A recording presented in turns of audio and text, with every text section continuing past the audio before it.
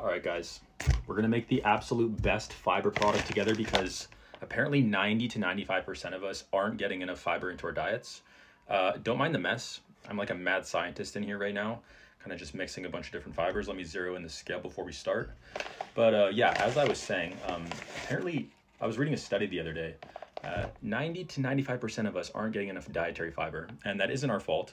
It is the fault of the industrialization of food, how our food is being processed, and it's really just not good for us. We need fiber. It's a it's actually considered like a macronutrient in our diet. It's just not we just don't eat it. By the way, for those nerdy scientist people out there, right now I'm working with uh, galacto oligosaccharide here, and then I got also got I um I got some iso malto oligosaccharide, and then the last one is resistant dextrin. My point is here is that I'm trying to mix different combine different sources of fiber into one, because there are some fibers out there like metamucil uh, that just use like psyllium husk, and I'm not going to really get into it because it really just makes me mad, but it's just not good enough.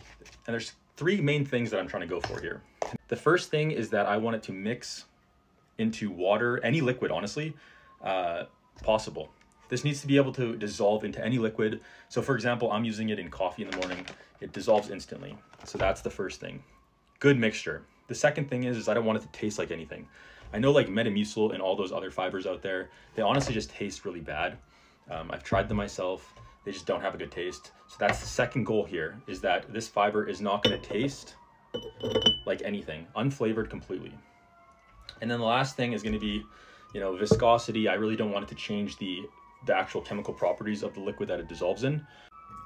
Agglomeration as well. Look at that pour. Okay. Agglomeration. So basically I just want it to interact nicely with the water. Um, so let's see how this goes. This is a completely, like this is a trial run here. I haven't tried these fibers out together yet, but let's see how it goes. So far, I've noticed that it needs a milk frother. Um, spoon sometimes, the spoon doesn't really work as well. Sorry about that loud noise. But the spoon doesn't work as well sometimes. But you can see that maybe this one isn't the best because we got some clumping in the bottom. Um, that should be fine though. It, it will end up dissolving, but this formulation might not be well, this or the specific ratio of these fibers might not be the greatest. I do like how the water is pretty clear though. Like if you can see that, it's very clear. It dissolves nicely. Other than that little bit of clumping. Let's see how it tastes though. Okay, so this is the thing. It tastes really well. I think I can deal with that. Okay, you can see that it's really just starting to dissolve there. There's not really much at the bottom. Um, I can work with that, but doesn't taste like anything. And honestly, this one probably, trying this in hot water might be good too because it's harder to dissolve things in cold water, but not bad. Uh, I would say, you know, that